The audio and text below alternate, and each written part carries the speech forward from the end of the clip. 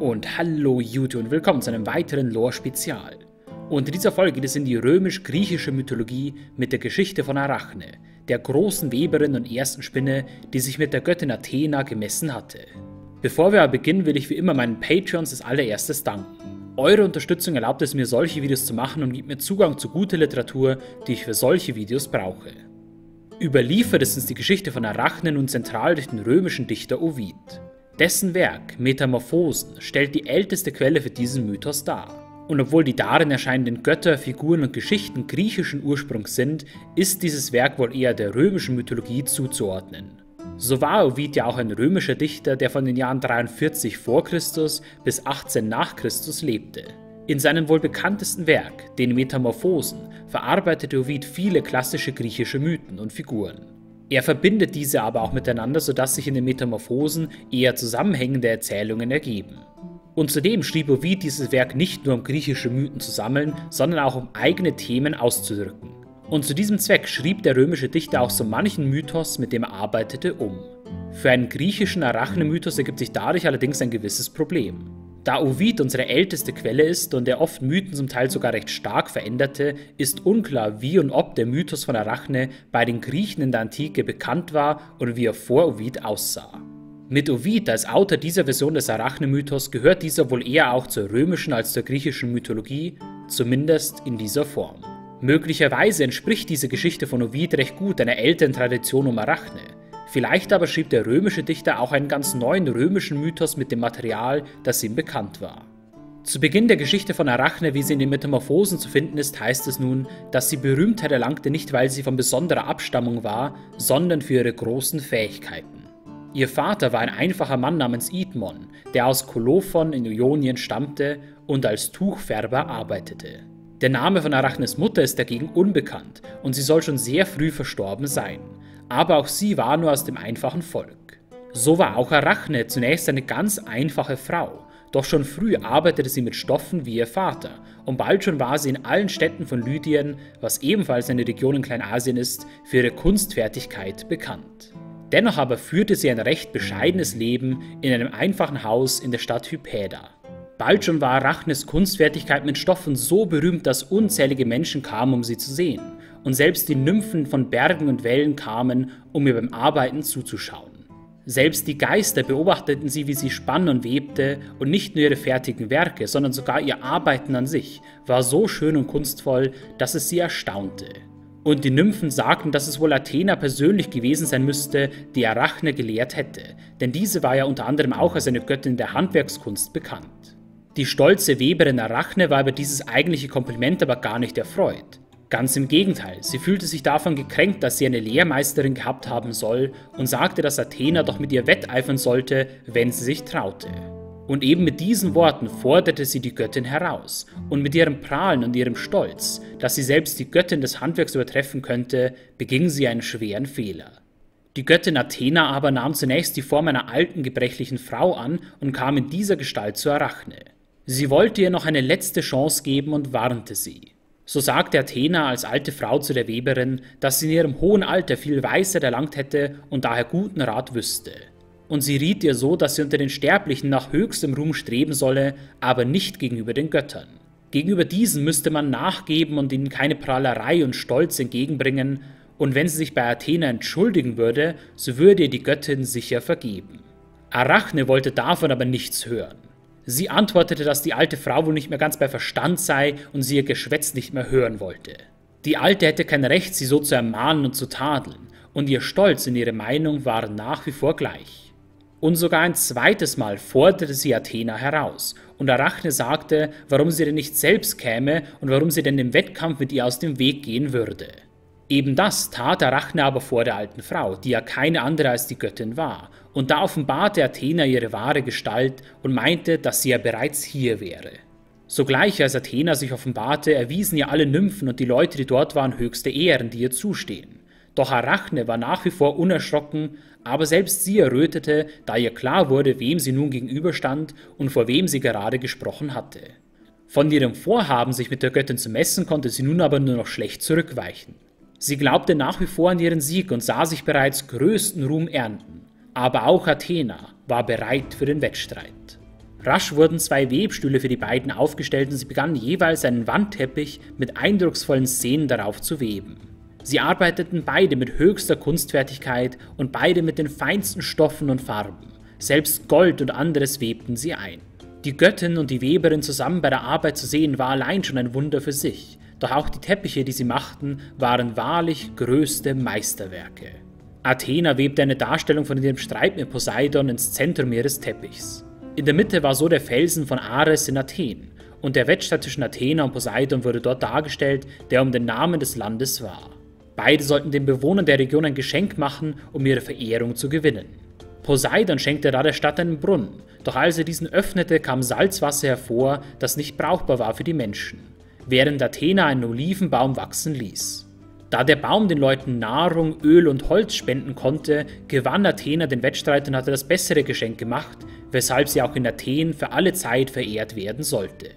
Über diese Szene stellte sie die Götter des Olymp dar, mit Zeus in der Mitte.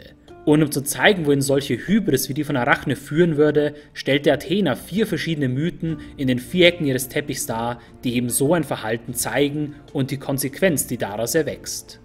In einer Ecke zeigte sie Königin Rhodope und König Hämus, die in Thrakien herrschten und sich als besser als das Paar Zeus und Hera sahen und am Ende zur Strafe in kalte Berge verwandelt wurden. In der nächsten Ecke war das Schicksal von Gerana vom Stamm der Pygmäen zu sehen, die sich ebenfalls mit der Göttin Hera messen wollte. Für ihren Hochmut wurde sie in einen Kranich verwandelt. Dann folgte eine Darstellung der Antigone, einer dritten Frau, die sich mit Hera messen wollte. Für ihre Hybris wurde sie von der Göttin zur Strafe in einen Storch verwandelt und konnte sich mit dem Klappern ihres Schnabels nur noch selbst applaudieren. Und schließlich zeigte die letzte Ecke noch Kynyras, den König von Zypern, der um seine Tochter Myra weinte. Diese hatte sich gemäß der Version, die Ovid in den Metamorphosen ebenfalls erzählt, in ihren eigenen Vater verliebt und versuchte ihn zu täuschen, damit sie mit ihm schlafen konnte. Als dieser aber ihre Täuschung erkannte, wollte er sie dafür töten, doch Myra konnte fliehen und irrte danach in den Osten. Sie sah dann ihr Vergehen ein und wollte jede Strafe, die die Götter für sie passend sahen, auf sich nehmen, und so wurde sie von den Göttern in einen Baum verwandelt. Die Tränen, die sie bei dieser Verwandlung vergoss, wurden zu Harz, das als Myrrhe aus dem Holz tropfte. Und diese fünf Szenen, Athenas Sieg beim Wettkampf und die vier Mythen, die die Hybris der Sterblichen zeigen, umrahmte die Göttin mit fein gewobenen Olivenzweigen und vollendete so ihr Werk. Arachne unterdessen webte einen Teppich, der ganze 21 Mythen zeigte, die sich alle um die verschiedenen Liebschaften, Eskapaden und auch Schandtaten der Götter drehten. Viele davon natürlich Abenteuer von Zeus und die meisten davon zeigten, wie die Götter Sterbliche täuschten, verführten oder direkt missbrauchten. Jede einzelne Szene war dabei aber so meisterhaft gemacht und so wundervoll gearbeitet, dass man sie für echt halten konnte. So zeigte Arachne auf ihrem größten Meisterwerk, wie Europa von Zeus in Stierform entführt wird und auch wie Zeus als Adler zur Asterie kam und wie er als Schwan zur Leda kam. Weiterhin stellte Arachne dar, wie Zeus als Satyr zur Antiope, der Tochter des Nykteus kam und mit ihr Zwillinge zeugte. Dann wie der Donnergott mit Alkmene den berühmten Helden Herakles zeugte und als goldener Regen mit Danae den Helden Perseus. An Ananke kam er als Feuer heran und an Mnemosyne getarnt als Hirte. Und schließlich war auch noch zu sehen, wie Zeus als Schlange zu Persephone kam. Neben den Taten, Missetaten und Verführungen von Zeus stellte Arachne aber auch Poseidon dar. So bildete sie auf ihrem Meisterwerk auch ab, wie der Meeresgott als Stier verwandelt mit Arne, der Tochter von Aeolus, zwei Söhne zeugte und wie er in Form eines Widders mit der Nymphe Theophane schlief, die er zuvor in ein Schaf verwandelt hatte. Und weiterhin zeigte die Weberin, wie Poseidon als Hengst sich der Göttin Demeter bemächtigte und als Vogel der Medusa und schließlich noch als Delphin der Melanto.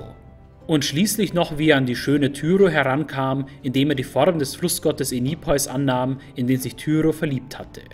Den Gott Apollon zeigte ihr meisterhafter Teppich, wie er sich in einen Landmann, in einen Habicht oder einen Löwen verwandelte oder in einen Hirten, um verschiedene Liebhaber zu verführen und zu überlisten.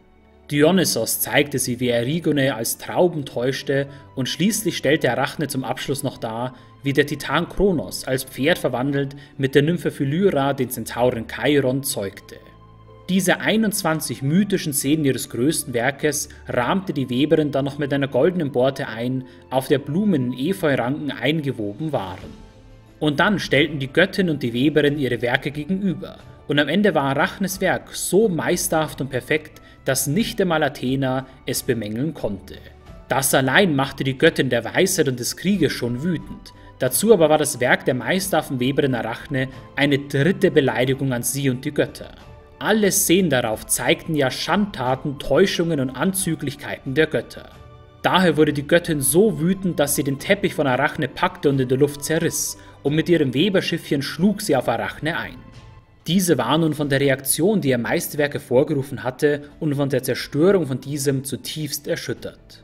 Sie konnte Athenas Urteil nicht ertragen und wollte sich schließlich erhängen. Gerade als Arachne aber Selbstmord begehen wollte, hatte Athena doch Mitleid mit ihr. Immerhin hatte sie ja größte Kunstfertigkeit gezeigt und ein makelloses Meisterwerk erschaffen, und die Göttin der Handwerkskunst meinte, dass sie den Tod nicht verdient hätte. So fing sie Arachne auf und stützte sie, sodass sie sich nicht erhängen konnte und nicht starb. Für ihren Hochmut aber und für ihre Beleidigungen gegen die Götter hatte sie dennoch eine Strafe verdient. Und so machte Athena ihre Warnungen, die sie auf ihrem Teppich gezeigt hatte, zur Strafe von Arachne. Sie verwandelte die große Weberin in eine Spinne und sprach, dass sie und alle ihre Nachkommen zur Strafe Spinnen sein sollen und in ihren Netzen für immer hängen müssten. So wurde Arachne für ihren Hochmut zur Spinne und auch als solche war sie weiterhin eine meisterhafte Weberin, die nun ihre Netze spinnen sollte. Und wie Athena es gesagt hatte, sollten alle Nachkommen von ihr es ebenso tun und spinnen sein. Und damit endet auch der Mythos von Arachne. Neben der für die Metamorphosen von Ovid natürlich namensgebenden und typischen Verwandlung, die sich zentral in der Verwandlung von Arachne in eine Spinne zeigt, geht es nun in diesem Mythos auch um eines der typischen und häufigsten Themen der römisch-griechischen Mythologie, um das Thema der Hybris. Für sehr viele Figuren der Mythologie wird ihr Übermut, ihre Hybris und ihr Glaube, sich mit den Göttern messen zu können, zum Untergang und führt zu einer schweren Strafe. Eben davor warnt Athena ja Arachne schon zu Beginn als alte Frau. Doch wie es ebenfalls so häufig der Fall ist, wird so eine Warnung von einer hochmütigen Figur einfach nicht beachtet und in den Wind geschlagen. Und am Ende geht es daher schlecht für diese aus. Darüber hinaus aber bildet dieser Mythos von Arachne auch eine Ursprungserklärung für die Spinnen der Welt und ihre Eigenschaft, Netze zu weben. Sie ist die erste mythologische Spinne, was möglicherweise auch auf ein hohes Alter des Mythos hinweisen könnte aber auch weitere Interpretationen sind wie so oft gut möglich. Unter anderem auch, dass Ovid hier das Weben als Sinnbild für Kunst und Dichtung allgemein nimmt und hier auf die Beziehung zwischen Kunst und Zensur durch Tyrannei und Machthaber anspielt. Die Zerstörung von Arachnes Teppich durch Athena wäre nach dieser Deutung eben die Zensur durch einen Herrscher.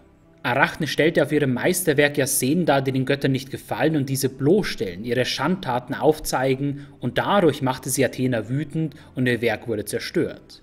Eine Erfahrung, die Ovid möglicherweise sogar persönlich machte. Er lebte ja zur Herrschaftszeit von Kaiser Augustus und nur kurze Zeit nachdem er die Metamorphosen veröffentlicht hatte, wurde Ovid aus Rom verbannt. Er wurde nach Konstanz ans Schwarze Meer geschickt, das damals den römischen Namen Tomi trug, und dort musste er bis zum Ende seines Lebens bleiben.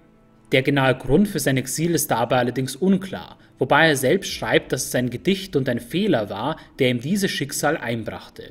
War es also auch bei Ovid möglicherweise ein Werk, das dem Kaiser missfiel und ihm eine solch schwere Strafe einbrachte? Möglich wäre es. Doch da der Grund für die Verbannung eben unklar bleibt, lässt sich nicht sagen, wie und warum Ovid mit den Herrschenden seiner Zeit aneinander geriet und womit er sich diese Strafe verdiente. Wenigstens aber konnte Kaiser Augustus ihn nicht wie Athena in eine Spinne oder ein anderes Tier verwandeln. Und damit verabschiede ich mich aus diesem Lore-Spezial zur griechisch-römischen Mythologie und zum Mythos von Arachne.